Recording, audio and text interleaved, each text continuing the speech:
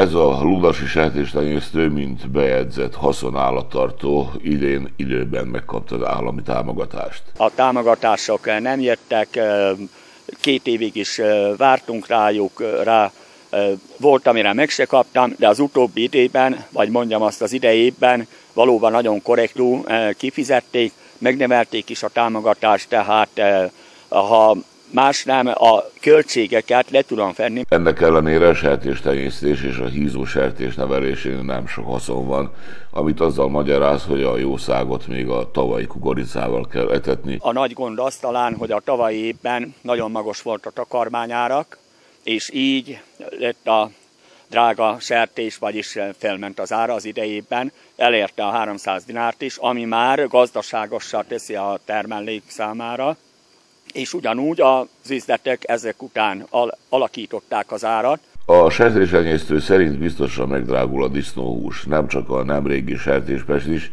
hanem a dráguló energiahordozó árak miatt is. Különösen a malac ára emelkedhet jelentősen. Tavalyi végén már elérte az 550 dinárt is az élésúly, most jelenleg 400 dinár körül tart, de a, ahogy hallom, már több helyen az 500 dinárt is, úgyhogy előre látható olyan közel 600 dinárig lesz december-január környékén a malac felvásárlási ára. Beszélgető társunk nem kíván mentegetőzni az élő sertés árának várható emelkedése miatt.